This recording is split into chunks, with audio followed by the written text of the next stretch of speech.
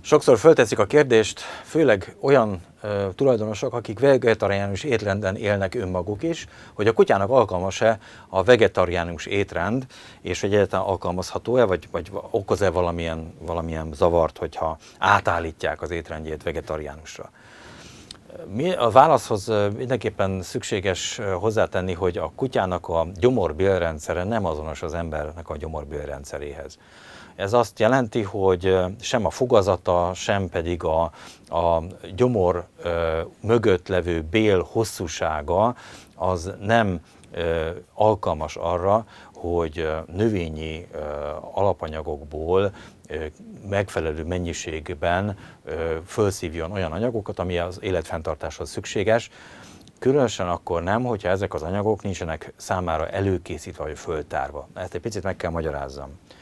A kutyának az étrendje az akkor optimális, hogyha az legalább 16%-ban vagy 20%-ban hús eredetű fehérjéből áll, és a, általánosan is azt tudjuk mondani, hogy az, az optimális hús növény arány az 60-80 százalék hús eredetű, vagy állati eredetű, fehérje eredetű, és kb.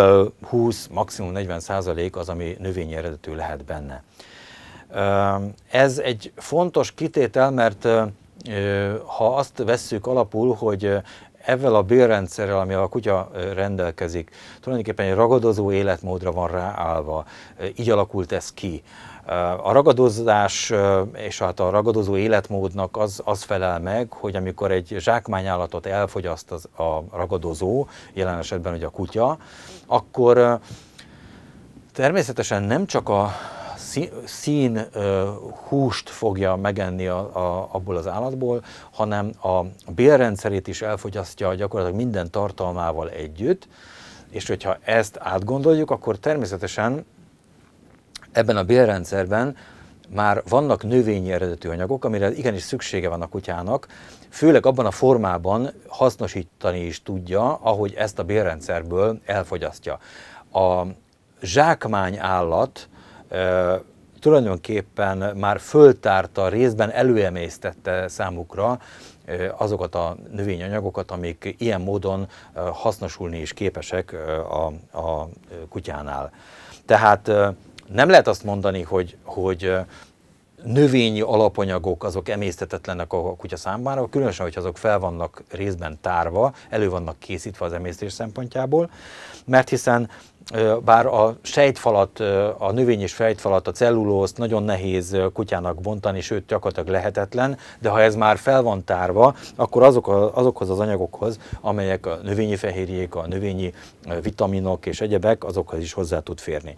A növények szempontjából a szerepet játszik a táplálásban a fehérje részben, de legfőképpen egyébként a rostanyagok az, azok az anyagok, amelyek amelyek hasznosulást kapnak. A növényi fehérje az rosszabbul hasznosul, mint az állati fehérje, ez egy faktum, ez egy megállapított faktum, és hát azt is el tudom mondani, hogy nagyjából kb. 75 kilokalória per kiló testtömeg szükséges az éle, normál életfenntartó szükséglet, ahogy szoktuk mondani a kutyánál. Ha csak növényi anyagokból akarjuk ezt fedezni, az bizony nagyon-nagyon-nagyon nehéz feladat, hiszen ez a 75 kilokalória per nap, ez csak növényi alapanyagokból nem nagyon fedezhető.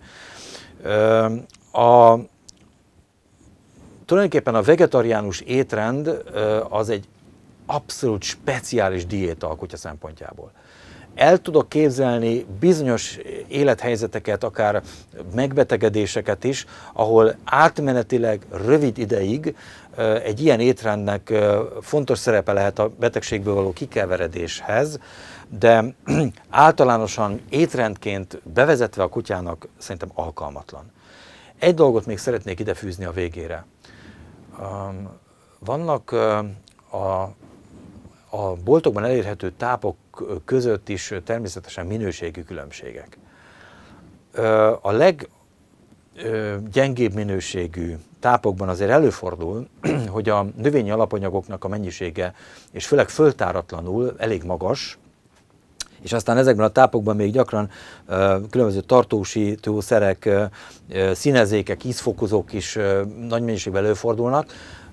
Kicsit hajaz azért, azért ez biztos mindenki fülében a gyorséttelmi étkezése embereknél.